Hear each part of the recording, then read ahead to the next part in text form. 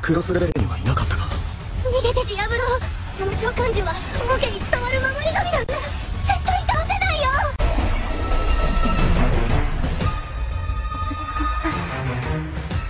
やれ多すぎるな。らあいつを殺せ。面白い。貴様らは下がっていよあれを撃破する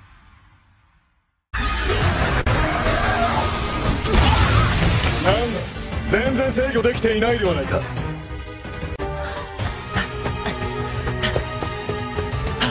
あれは？バカで勝てるわけないだろ！さっさと消えろディーマン！こんな強力な召喚獣シェラを操った笛もゲームにはなかった。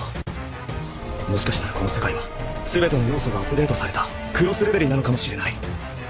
そう考えるとワクワクするな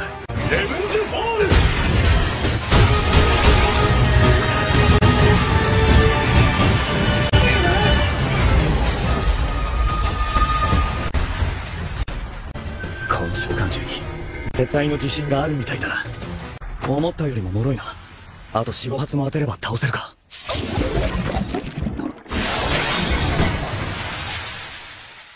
いいぞ見たか再生早すぎだろバグかよ。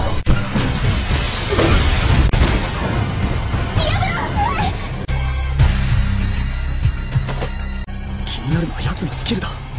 召喚獣にはスキルが一つだけという制限があるはず。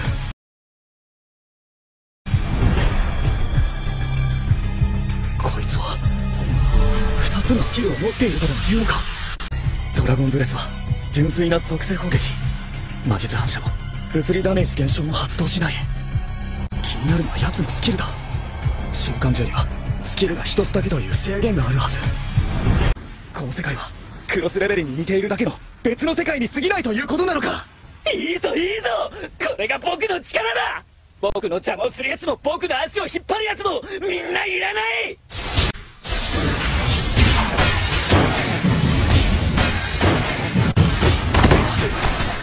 氷に砂に風に炎。スキル持ちすぎだろ。なんかないか。こいつの弱点は。